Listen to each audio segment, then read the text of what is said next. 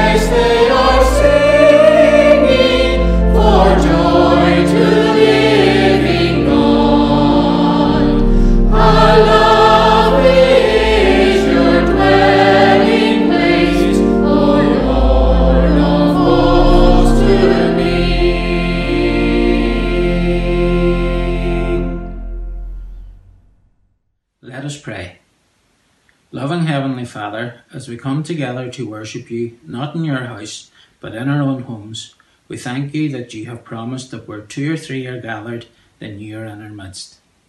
Lord, we welcome you amongst us today and celebrate the precious gift of life that you have bestowed upon each of us. Lord, we pray that you will open our ears so that we may hear your voice, open our minds so that we may receive your eternal wisdom, open our spirits so that we may know your leading and guidance, open our hearts so that we may receive your wonderful love, and we pray that we will feel your presence with us today and every day. Lord, we need you in our lives. Your love and faithfulness endures forever. Even in these uncertain times, we are assured of your constant love. We thank you for all that you provide for us. We thank you for our loved ones, our homes, and food on our tables. Lord, we are so thankful for all you do for us each and every day. Help us to care and respect the earth and all the wonderful creations that you have blessed us with. We thank you for the technology that has allowed us to worship you in our own homes over the last few months, and we thank you for those who have made it possible. As we start to come out of lockdown, we pray for your protection. Help us to be patient and kind as we get used to our new normal. We pray for guidance and direction for those who have decisions to make. Help us to adhere to these guidelines for our own safety and the safety of others. We pray for Graeme as he continues to lead us, and for the Kirk sessions, committees, and congregations of Mason and Kilfennan, and pray that we will soon be able to meet safely again to worship and praise you. Lord, we thank you that you sent your precious Son who died on the cross to forgive our sins, so that someday we will have everlasting life with you in heaven. We ask these things in Jesus' name. Amen.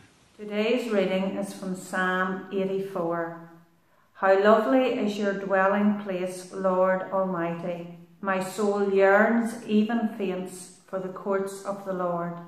My heart and my flesh cry out for the living God. Even the sparrow has found a home, and the swallow a nest for herself, where she may have her young, a place near your altar.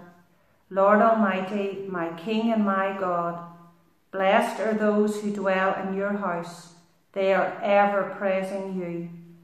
Blessed are those whose strength is in you whose hearts are set on pilgrimage. As they pass through the valley of Baca, they make it a place of springs. The autumn rain also cover it with pools.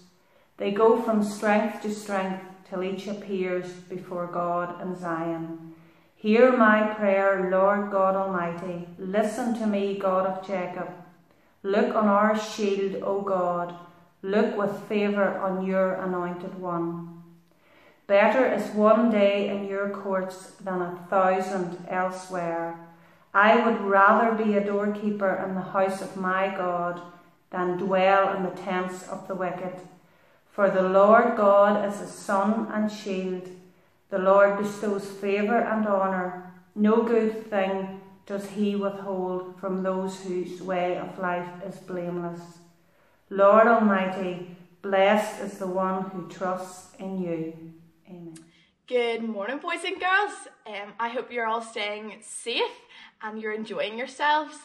Um, I miss seeing you so much at church, but until we're able to go back to seeing each other again in church, which is hopefully soon, um, it's so great that you're able to tune in with us for our online service today.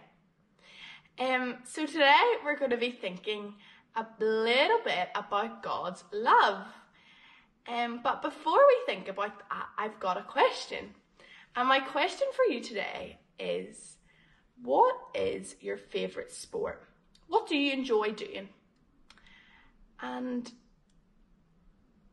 as I let you like process what you're thinking about saying, I'm imagining that some people are saying that they love playing football or they love playing rugby or they love playing tennis, cricket, hockey, rounders, and I'm sure the list can go on and on and on.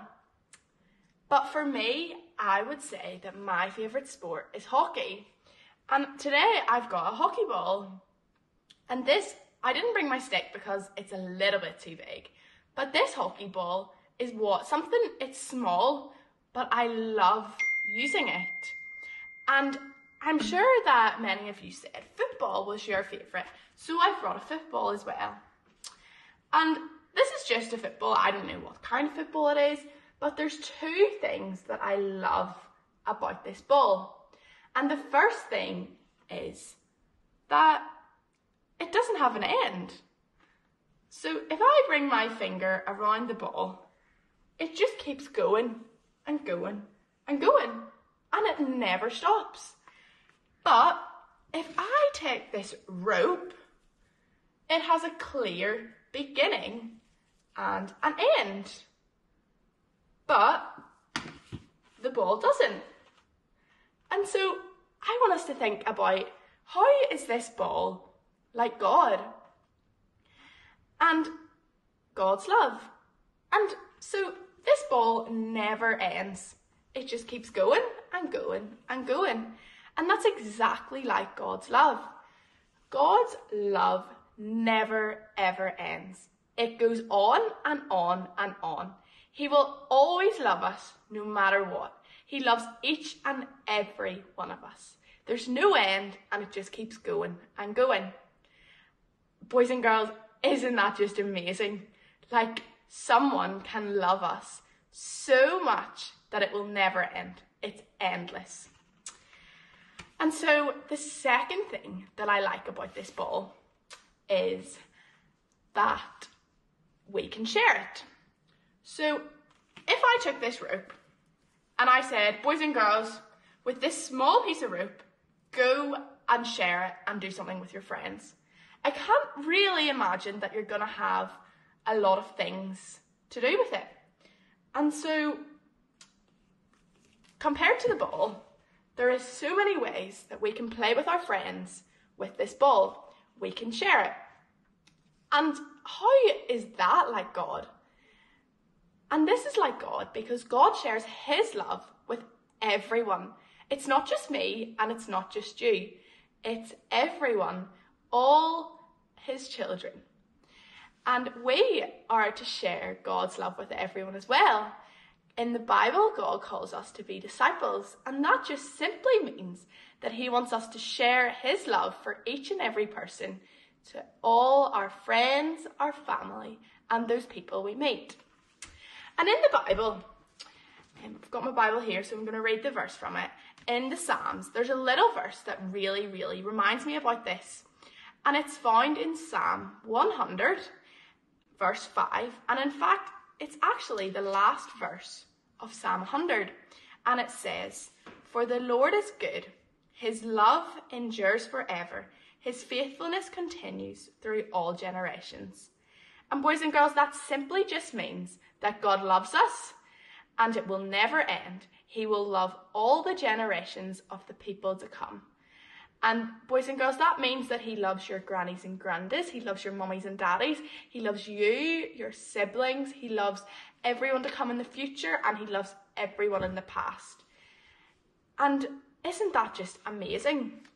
So today I just want you to remember that the next time that you see a ball, that you'll remember that this reminds you of God, and you can explain that to your friends that you the ball doesn't have an end and it doesn't have a beginning. And that is just like God's love. God's love doesn't have a starting point and an ending point. It continues for all time. And also that we can share God's love the same way that we can share a ball and that we can go and teach others um, how much God loves them and that his love's for everyone. It's not just for one individual. And so that is our story for today. Um, and we're just going to pray to finish. So if we all close our eyes and bow our heads. Dear Lord, I just pray for this lovely time together in the service for the children.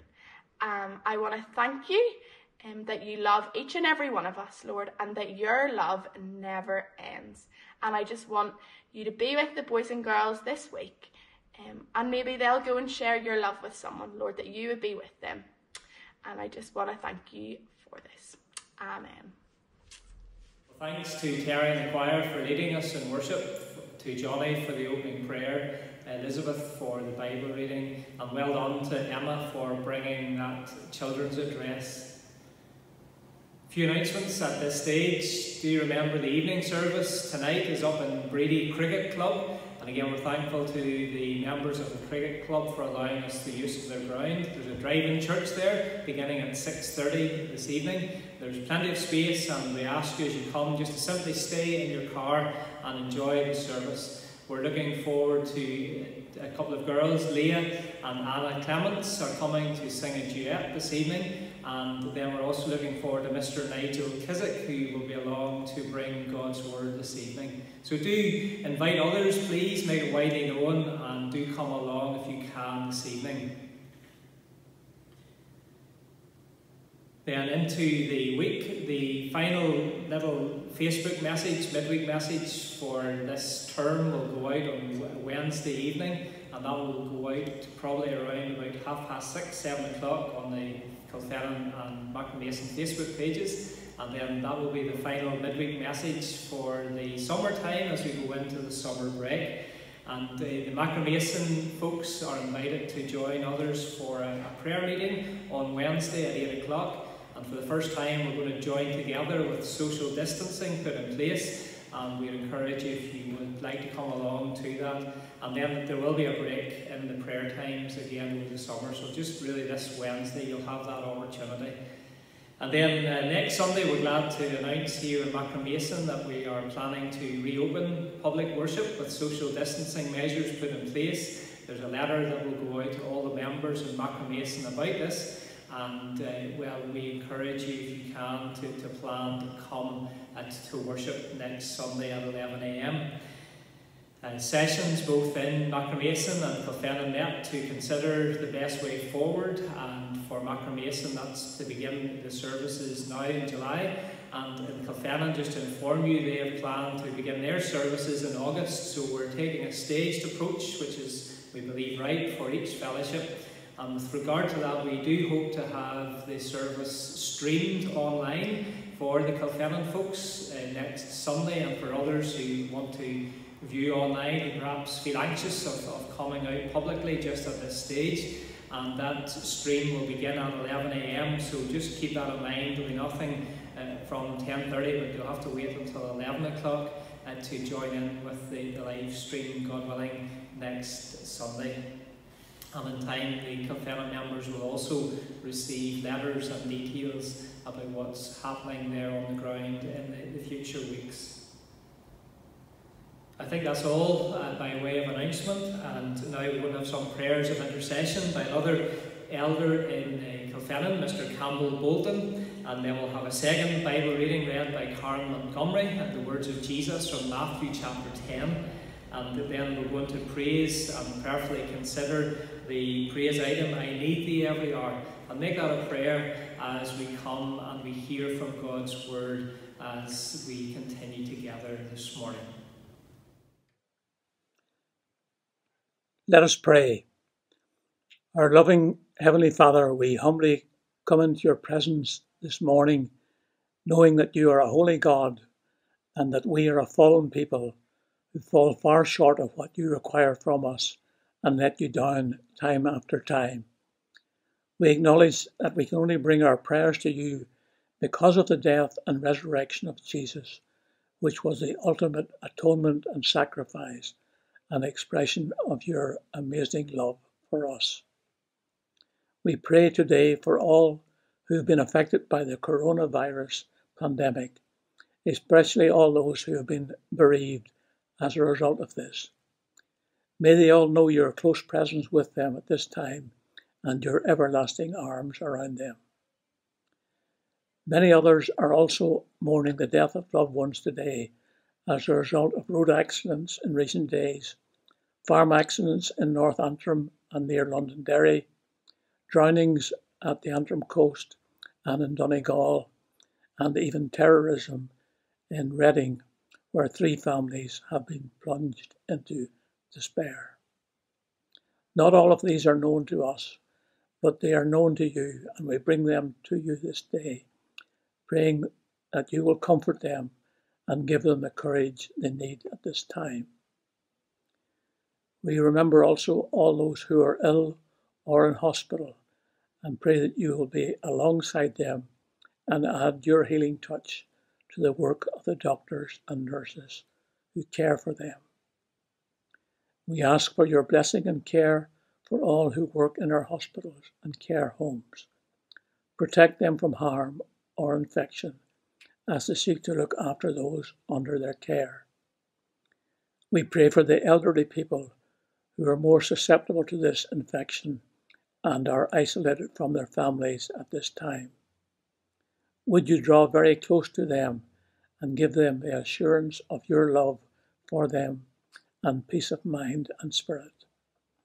We pray for those who have been unemployed as a result of this situation, and also for those who are fearful of this prospect and the loss of income. As businesses struggle to cope with the changed circumstances, we remember the owners and managers who have to deal with the stresses of the situation. May they be aware that you care for them and may they turn to you for comfort at this time.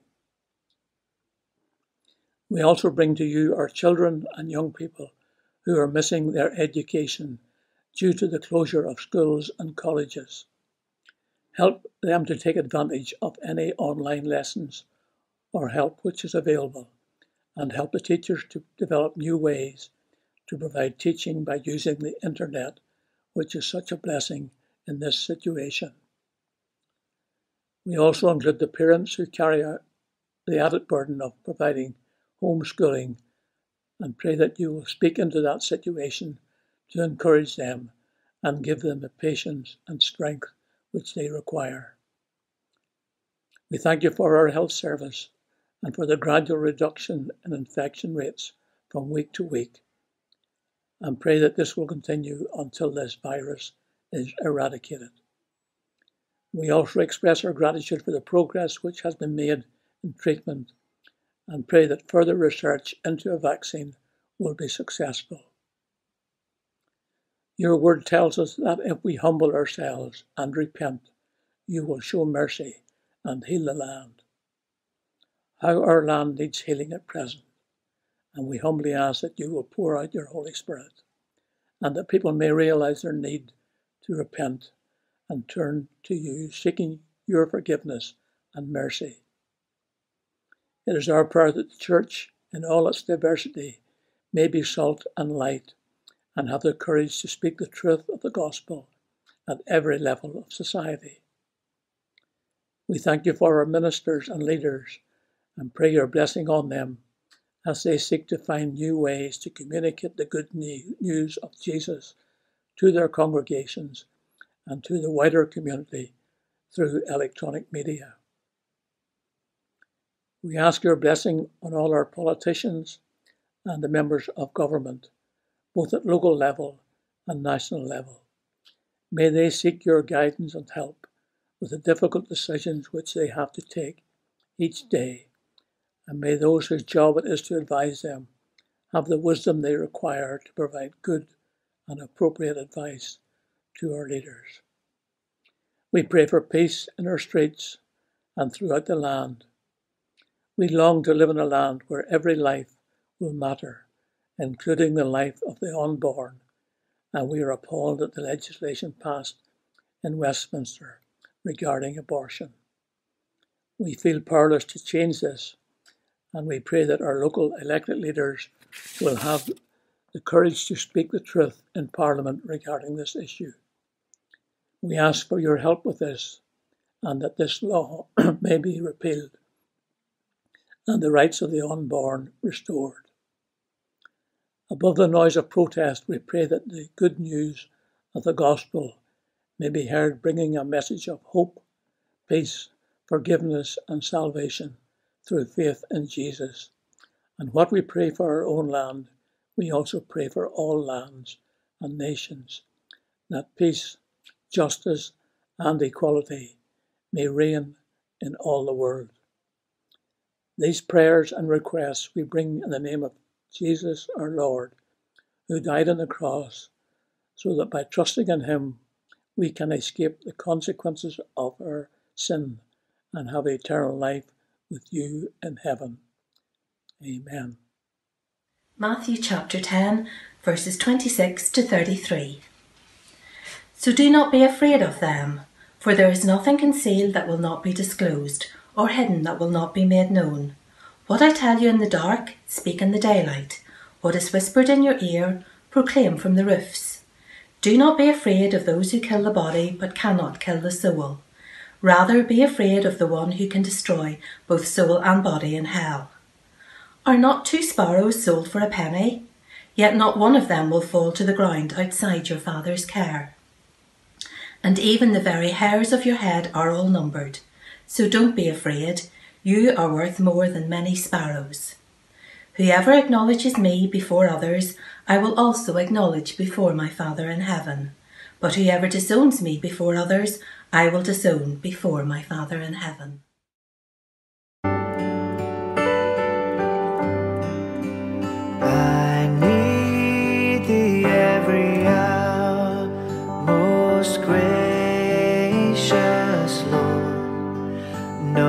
Tender voice like thine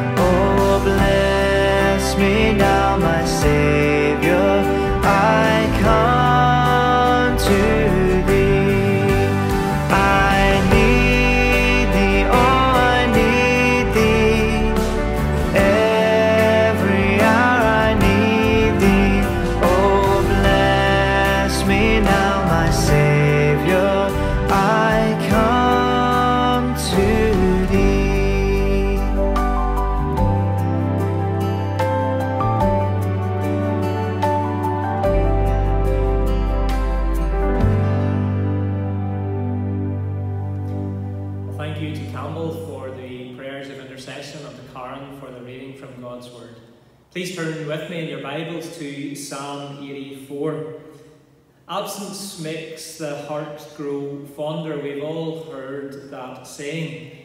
When you don't have something for a while, or perhaps you take something for granted, you miss it after a while.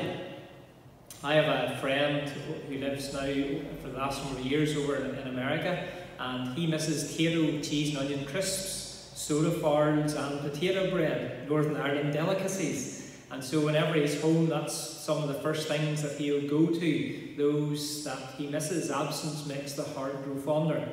For many of us, we've missed meeting with, with families and we thank the Lord that we are now able to come together and meet up again. And over those weeks and months of lockdown, it was difficult for many of us as families not to be able to meet with our loved ones. And so, again, absence makes the heart grow fonder.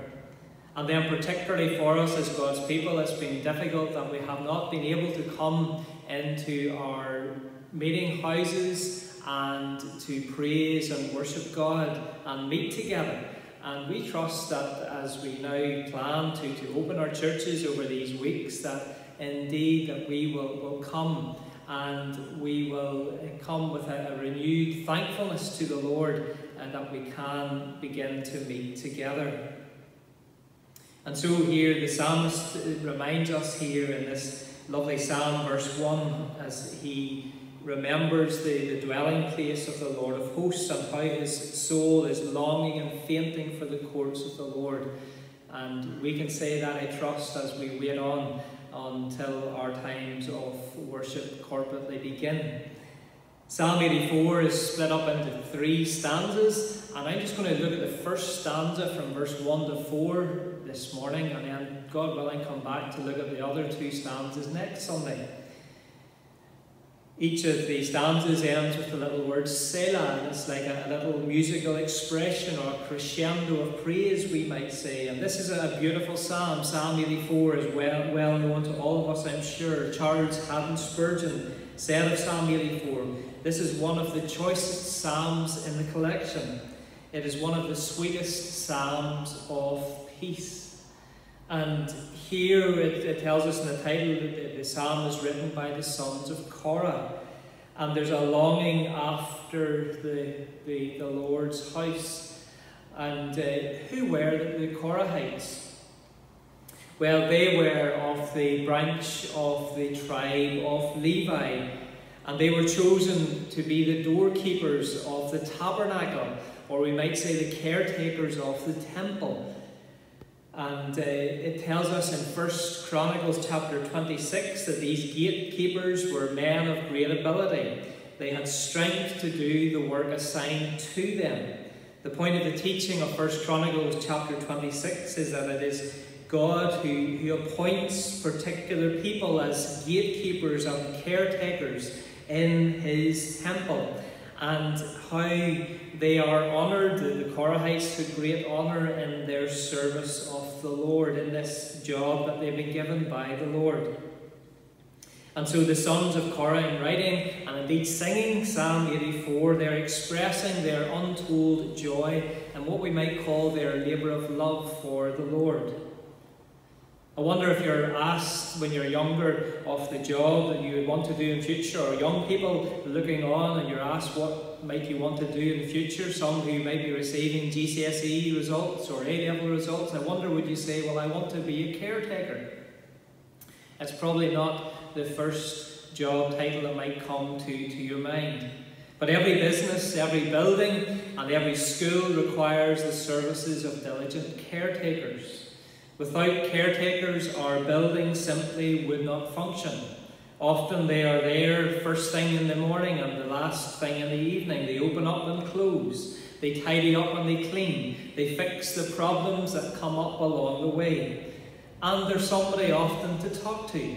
I remember we had a caretaker in the primary school in the Christie called Danny, and uh, he did the crossing and he did all sorts of jobs around the school. But often he was there and he had a, a smile on his face and he would stop and, and talk to you and cheered you up along your day.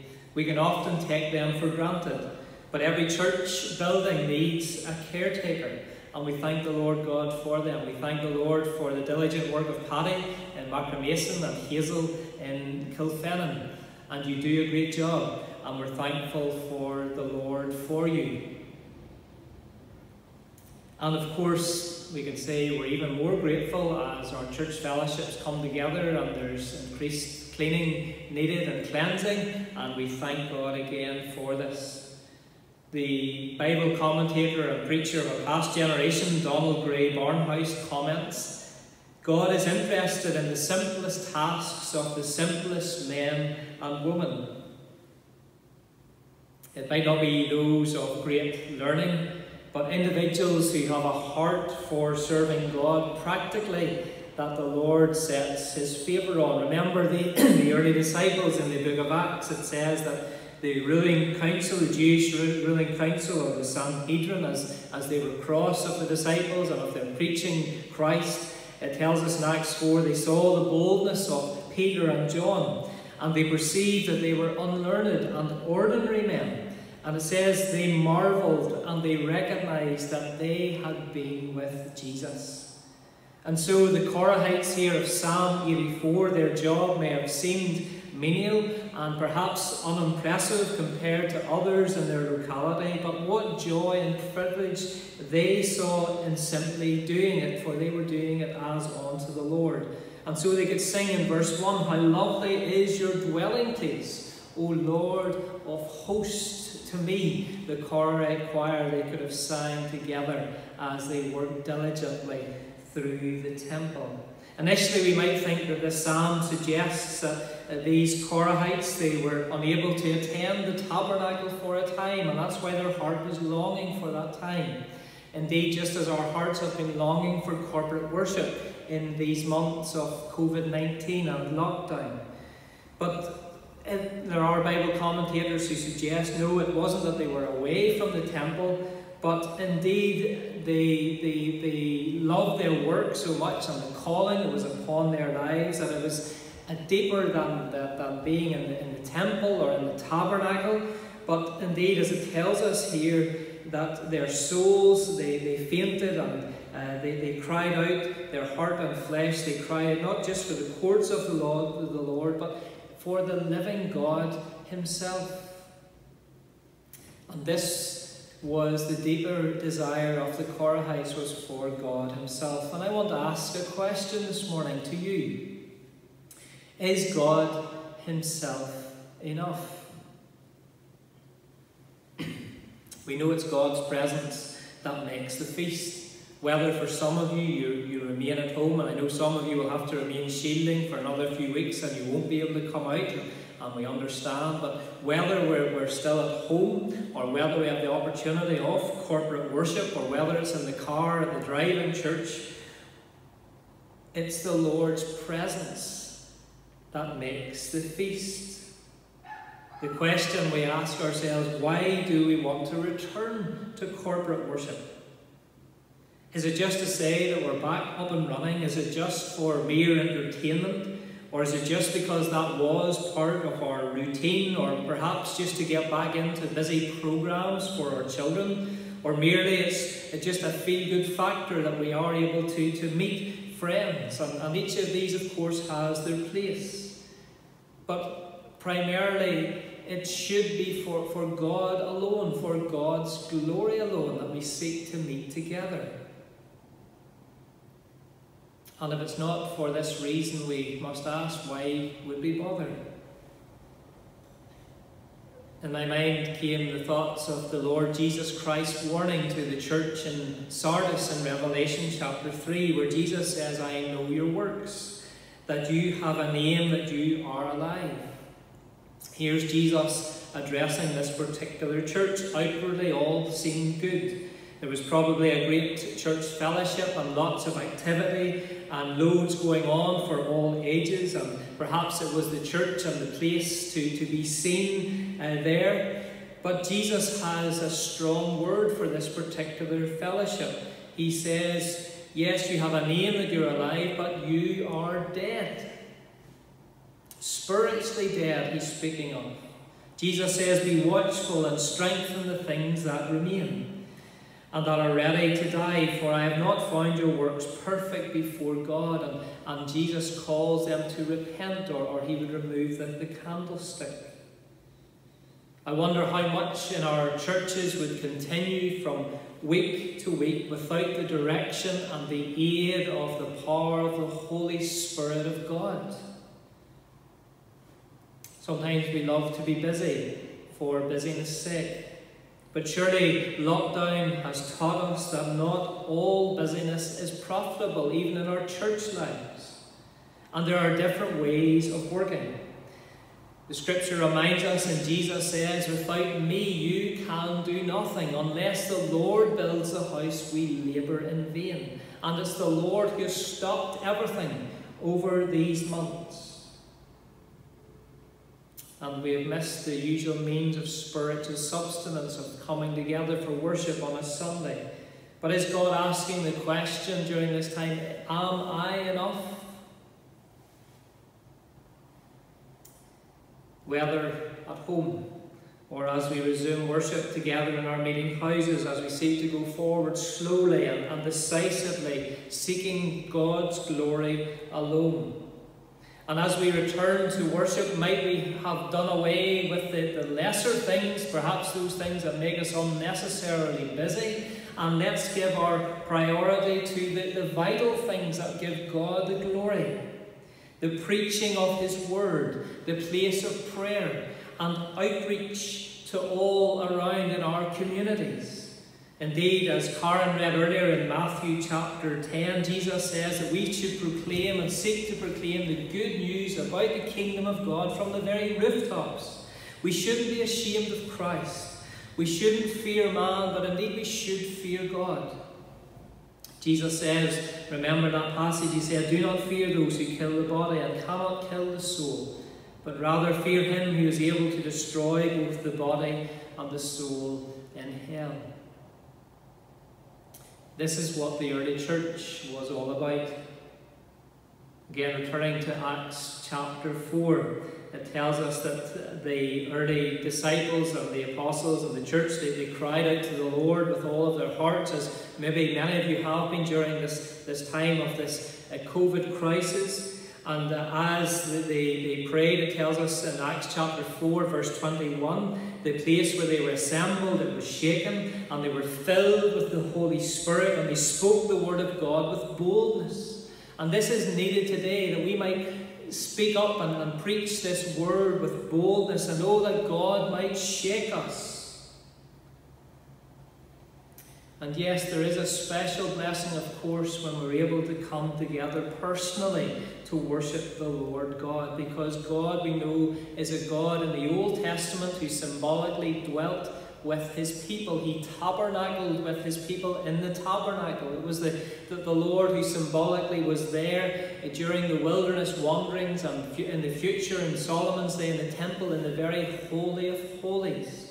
Again, not that God is contained to a, a certain uh, box or, or the, the Ark of the Covenant that was in the middle of the Holy of Holies, of course, for He is the creator of the ends of the earth. He's awesome and, and mighty, almighty but it was a symbolic presence of, of a holy God with his people, and as the people they came to worship, they came uh, humbly and reverently. And, and at times God revealed himself in special ways. His, his Shekinah glory came. Remember Moses in Exodus chapter 40, it tells us as, as everything in the tabernacle was complete according to what God had instructed, the cloud covered the tabernacle.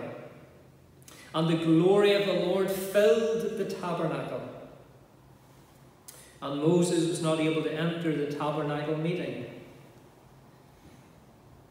because the cloud rested upon it and the glory of the Lord filled the tabernacle. And whenever the cloud was taken from the tabernacle, the children of Israel would go on their journeys.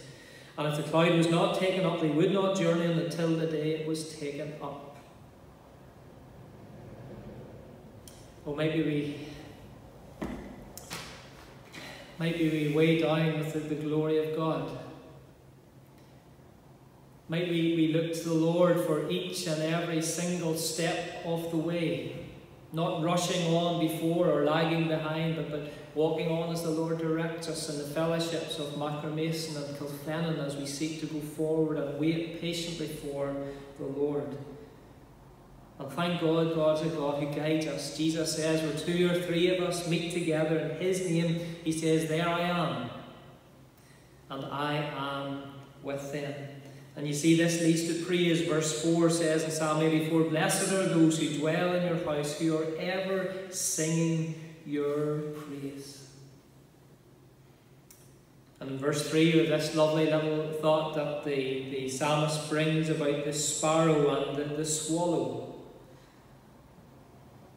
You know how much have been made about the birds in these days of lockdown. I know I've really noticed the bird song so much more than ever, and maybe you've been the same. As you've saw the birds in their flight and their feeding and their nesting. And I have a study just across the way here, and I can look out my study and I see the, the, the birds uh, coming up and, and uh, resting in the chimney, the old chimney at the side of the church here. And it's lovely just to, to sit and, and to watch the, the, the birds as they go about. And so here in verse 3 it tells us the sparrow finds a home and the swallow a nest, that she may lay her young even at the altars of the Lord of hosts, my King and my God. James Montgomery Boice, the Bible commentator, says at verse 3 the poet simply saw birds at the temple. And his point was that as the birds made their home at the temple, so they were secure with no fear of their enemies. So may the people of God make their home in God and find security in Him. Later on, we're reminded that the Lord God is our sun, He is our light, and He is our shield. He is our defence from the darkness and the oppression of the enemy. But let's think of these sparrows and of these swallows. The, the sparrow in the Bible is a symbol for something really that is, is quite worthless. In uh, Jerusalem, boys would have caught sparrows and they would have sold them, we're told, for a farthing, for the lowest common denominator, a little copper coin, for some pocket money, we might say. And yet, although the sparrow is, is seen as, as really quite worthless, they're not overlooked by the psalmist in Psalm 84. Indeed, they, they make a, a nest for themselves at God's altar. And as again Margaret read for us earlier from Matthew 10, Jesus, after his challenge to be faithful in proclaiming the gospel, he reminds us that God cares for each and every sparrow. Jesus says, Not one of them falls to the ground apart from your Father's will. Jesus says, Therefore, do not fear. You are of more value than many sparrows. Here's the hope. Maybe you need to hear this message this morning. The sparrow that God cares for, the worthless sparrow. Yes, in a sense, we can say we're worthless sinners. But God cares for us. God knows your situation. God cares for you. God loves you. God calls worthless sinners to, the, to, to look at the cross, to come to Christ, to find our worth in Him. As Emma reminded us in her children's address of the love of God that's so, so incomprehensible and, and, and the, the love of God that comes to, to win our sinful hearts. And here's this demonstration of God for uh, those who maybe feel worthless. Maybe you feel like that this morning. You, you feel worthless and no one cares. God cares. Jesus died for you. And then the swallow. If the sparrow is a sign of worthlessness in the scriptures, well, the swallow is a sign of restlessness. Have you ever watched a swallow? It's always on the go from dawn to dusk and, and sweeping back and forward through the air forcibly. And it can even weary the watcher as you watch a swallow move. But when it comes to time for mating and for the raising of its young, the swallow will settle down and find a place of rest and peace. Again, here the, the psalmist notes it's in the, the temple courts of the Lord. It's a place of security where she can lay her young. And the picture here is of the restless soul in the world, outside of God, and going from pillar to post, but never really able to settle because of this problem of sin that separates us from a holy God. But compare this to the child of God who knows eternal rest and peace in the Lord Jesus Christ. St. Augustine said, Our hearts are restless until they find their rest in Thee. Have you found your rest in God? Have you made your peace with God? Are you still restless and wandering a lost soul on that awful highway to hell? Or have you heeded the voice of God? And even through this message this morning, God calls to your heart and reminds you of the swallow that can find rest near the altar of God. We find rest again at the cross of Christ, and we're saved by God's good grace. Nothing that we do, but all of the grace of God. Jesus says, Come unto me, all ye that labour and are heavy burdened, and I will give you rest. Take my yoke upon you and learn, learn from me, for I am gentle and lowly in heart, and you will find rest for your soul. For my yoke is easy and my burden is light. And oh, when by grace we have been saved and we've come to know Christ, surely we can sing with all of our hearts with the psalmist in Psalm 84, verse 1 How lovely is thy dwelling place, O Lord of hosts, to me. Our God is a personal God who brings salvation to the soul and it leads to praise and joy, and it leads to service. And that's why these Korahites doing their menial tasks, they give all praise and, and uh, uh, singing to God. And they, they could say later on, I'd rather be a doorkeeper and only stay a day, but to dwell in tents of wickedness and have to stay away. And we'll come back to these thoughts, God willing, next Sunday. So, as we wait not just for a return to our meeting houses, but let's return to the Lord God with all of our hearts. Let's know that the eternal dwelling place of God is in heaven, and that's the promised destination for the child of God. As I read, from Revelation 21 at the beginning of the service, I end the same words. For here again, John reminds us Behold, the dwelling place of God is with man. He will dwell with them and be his people, and God himself will be their God. In heaven, in the new heavens and the new earth, John goes on to say that he saw no temple there, no tabernacle in the city, for the temple is the Lord God Almighty and the Lamb, speaking of Jesus. In conclusion, our God and His Christ, they are enough.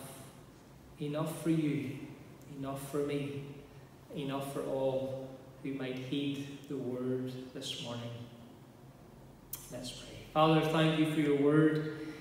Lord, we thank you that you're a God who graciously comes to dwell with us Lord, we realise that we often fail you and fall in sin, and we yet thank you as we come in repentance that you meet us at the point of our need.